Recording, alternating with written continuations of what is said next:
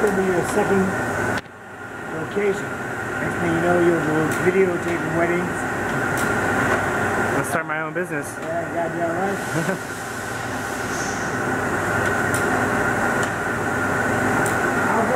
Later.